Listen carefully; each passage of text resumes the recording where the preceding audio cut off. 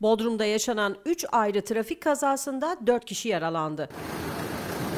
İlk kaza dün akşamüstü saatlerinde Konacık Şehit Barış Akay Caddesi üzerinde meydana geldi. Bir otomobille motosikletin çarpıştığı kazada yaralanan motosikletli 112 acil sağlık ekiplerince hastaneye kaldırıldı. Diğer kaza bugün Kıbrıs Şehitleri Caddesi üzerinde meydana geldi. Gümbet Kavşağı'ndan Hastane Kavşağı istikametine giden bir cip Mars Mabedi Caddesi'ne dönüş yaptı. O esnada aynı istikamette seyreden motosiklet cipe çarpmamak için fren ve manevra yapınca sürücüsünün kontrolünden çıkarak devrildi. Kazada yaralanan motosiklet sürücüsünün yardımına cip içerisindeki vatandaşlar koştu. 112 acil sağlık ambulansına alınan yaralı hastaneye kaldırıldı. Üçüncü kaza ise Konacık Mahallesi Mimar Sinan Caddesi'nde oldu. Cadde üzerinde meydana gelen tek taraflı motosiklet kazasında motosiklette bulunan iki kişi yaralandı. Yaralılar sağlık ekiplerince hastaneye kaldırıldı.